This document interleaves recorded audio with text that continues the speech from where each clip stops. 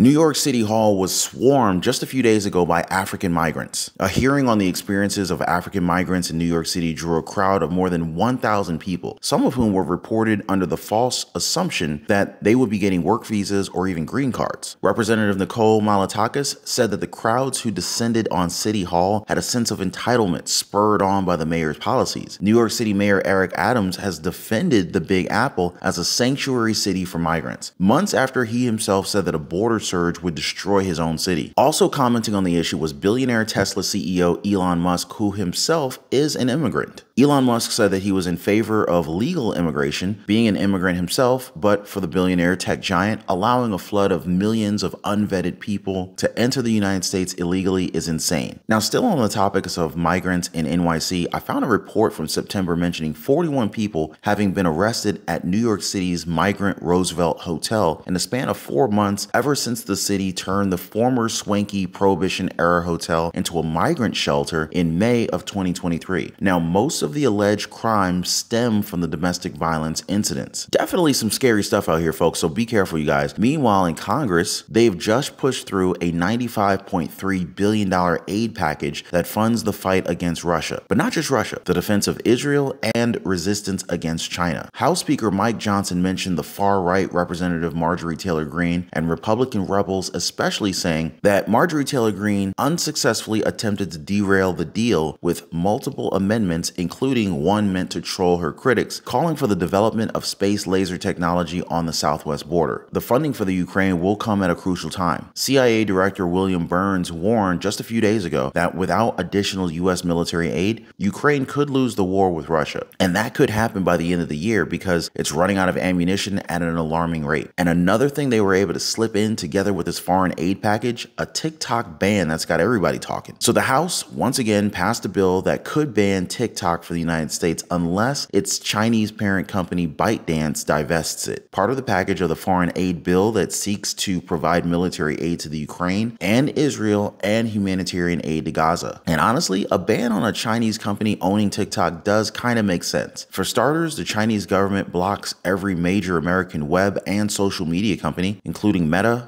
Google, Twitter, X, etc. It's entirely unfair that China, a very powerful adversary of the United States, can wage its influence on American citizens, meanwhile barring American web companies from its shores. And that is just one of the reasons we'll get into later. So make sure you stay tuned to the end, but let's go and dive right in. So first, the throngs of African migrants gathered outside New York City Hall. Check out the footage right here.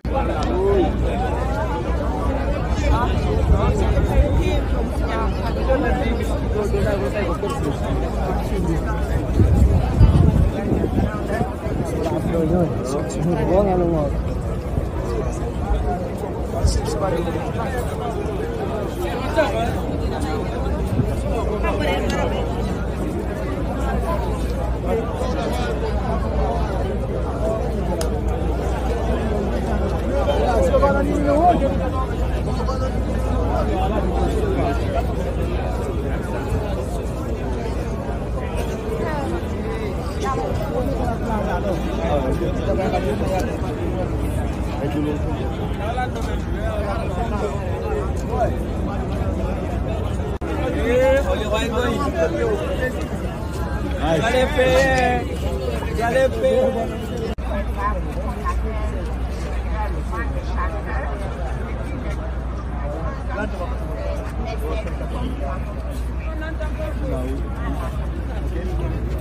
Now, apparently, they were gathered there for the city council hearing on the black migrant experience. But Americans complain how we can't fix our homelessness, but we'll give homeless shelters to illegal immigrants. Now, some of the people gathered there were even reportedly under the false impression that they would be getting work visas or green cards. One source said that the crowd was mostly comprised of newly arrived migrants from the Western African nation of Guinea. The hearing comes as an influx of illegal immigrants has put a strain on the city's resources. Late last year, New York City Mayor Eric Adams warned that the city was reaching its breaking point. More recently, Eric Adams said that a border surge would destroy his city. Representative Nicole Malliotakis also commented how the crowds who have descended on City Hall have a sense of entitlement spurred on by the mayor's policies. She pointed out how citizens of other countries believe that American citizens struggling to pay for a roof over their heads, they are responsible for housing them indefinitely. Tesla CEO Elon Musk also commented on X, even for him who's an immigrant himself, allowing a flood of millions of unvetted people to enter the United States illegally is insane. Now, just to show you guys, the Roosevelt Hotel in NYC was turned into a migrant shelter in May of 2023. Come September, they've reported at least 41 people having been arrested at the Roosevelt Hotel for domestic violence incidents. Arrests at the site have included an asylum seeker accused of bashing an employee in the head with a no parking sign in June after the worker chunked him from the building for being unruly. The worker ended up with a six inch gash on his head, and Mayor Eric Adams made an unannounced visit to the hotel within days to survey the situation himself. Some other migrant shelters had some issues too. A 20 year old migrant woman was arrested for allegedly slapping an NYPD officer who was attempting to confiscate her unregistered motorbike in front of the Stratford Arms Hotel on the Upper West Side of Manhattan. The woman, who also had been arrested in July for allegedly attacking her boyfriend, was freed without bail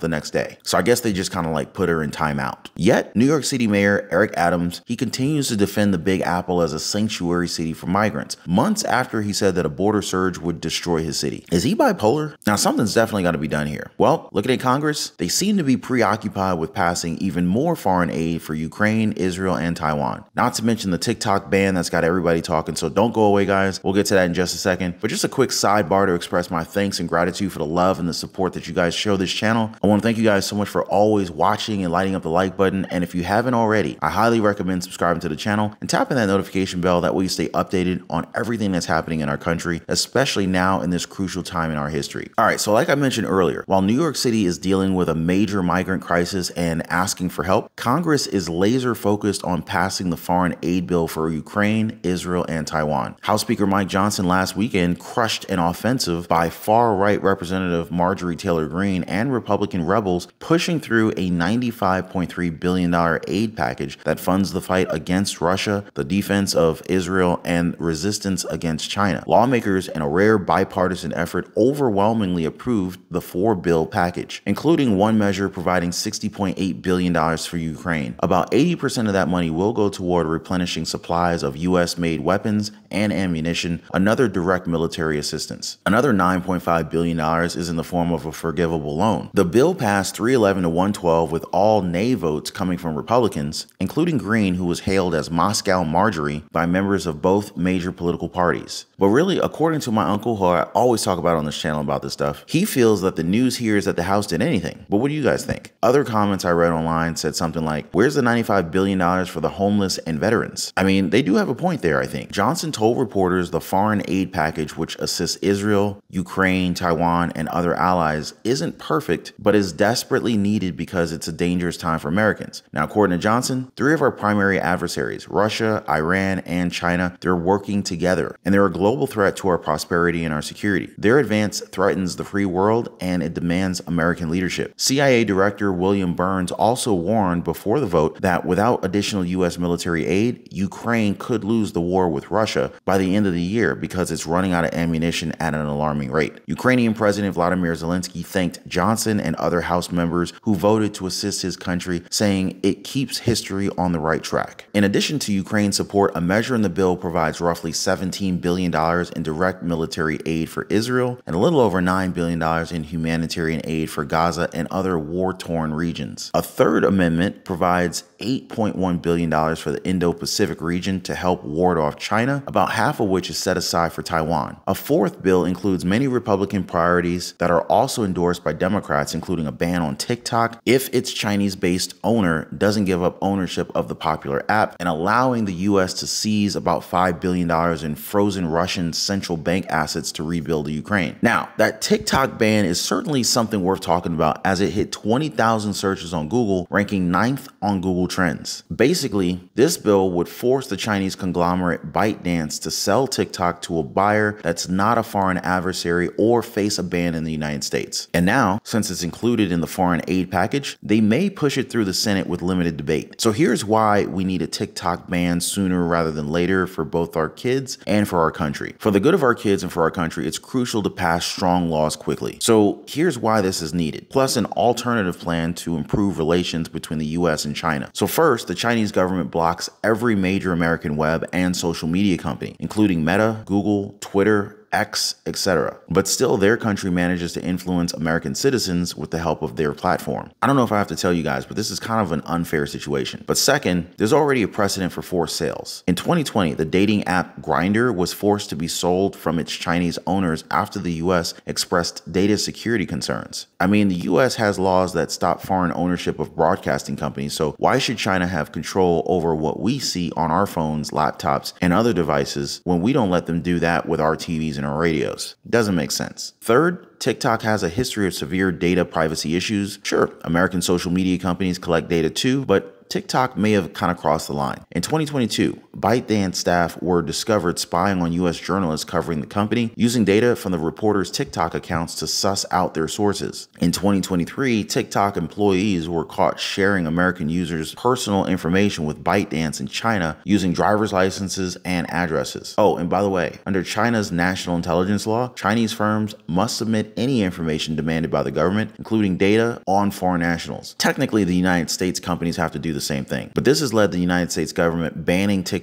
from all government devices. Fourth, TikTok can be a tool used for spreading propaganda and misinformation. Now, in their defense, so can other platforms. But they're saying that TikTok often is used by the Chinese government. FBI Director Christopher Wray warned that TikTok could be used to influence American users or control their devices. American social media platforms might promote harmful content, but they don't have a governmental agenda driving their overseas decision, so this is a big difference here. Fifth, TikTok puts American youth at risk. It has 170 million US users, and a third are 14 or younger. That's 50 to 60 million American children whose data is being collected and whose minds are being influenced. In China, TikTok's version for kids, Douyin, it provides educational content and it limits screen time, but in the West, TikTok shows trending videos that are often shallow or even sexually explicit. It's not surprising that kids in China aspire to be astronauts, meanwhile in America, they want to be social media influencers. Given all all of this, what's stopping legislation from moving forward? Well, politics. Some Democratic strategists warn that banning TikTok could hurt youth voter engagement, but these worries, they might be exaggerated. A Biden campaign advisor recently mentioned that their youth turnout program is not overly dependent on TikTok. Opponents of the ban say that it could limit free speech and lead to legal battles. Many Americans use TikTok for entertainment and even make a living from it. These are legitimate concerns. However, users have shown that they can adapt. MySpace users were moved to Facebook, Vine users switched over to YouTube and TikTok, and Skype users, well, they went to Zoom. TikTok's growth in the US is already slowing, so maybe people will migrate on their own. Alternatively, here's a fresh idea. If China lifts its ban on American web companies, then TikTok can stay in the US untouched. Wouldn't that be a great gesture toward better relations? Now, some say this bill still won't go anywhere because the losers in the Senate, their words not mine, they still won't do anything, especially the Democrats. Day by day, I kind of feel like America is becoming more and more under threat. That's why I highly recommend subscribing to the channel and tapping that notification bell. That way you won't miss out on important information and analysis like this one. Speaking of that, what do you guys think? Do you feel like our country is under attack based on the current migrant crisis and apps like TikTok taking advantage of our personal data and our children? Share your thoughts down below, and I'll see you guys on the next one.